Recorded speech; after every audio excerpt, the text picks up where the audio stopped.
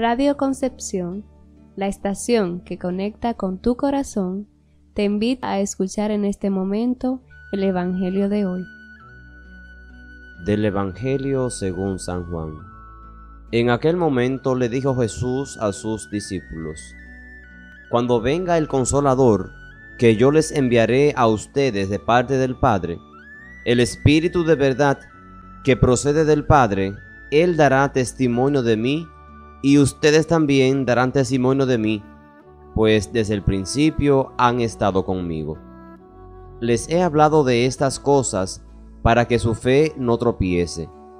Los expulsarán de las sinagogas y hasta llegará un tiempo cuando el que les dé muerte creerá dar culto a Dios.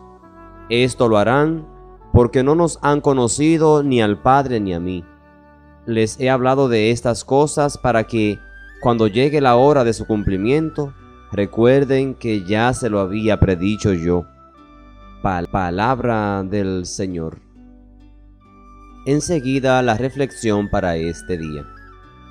Jesús, como parte de la preparación final a sus apóstoles antes de la pasión, los instruyó sobre dos cosas. La primera y más importante es que serían revestidos de una fuerza interior que los convertiría en auténticos testigos de su amor y de su reino.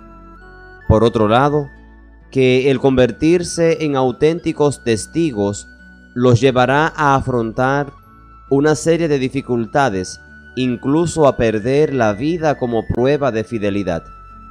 Estos dos elementos han estado presentes siempre en la iglesia el testimonio de Cristo, Mesías, llevado hasta las últimas consecuencias y la presencia activa del Espíritu Santo, conforta, anima e impulsa a testificar que Jesús es el Señor y que solo en Él hay vida en abundancia.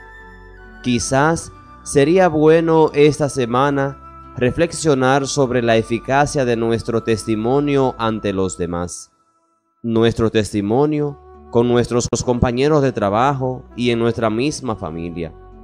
Y por otro lado, hacernos conscientes de la presencia activa del Espíritu que obra en nosotros y nos asegura que solo en Jesús hay vida y vida en abundancia.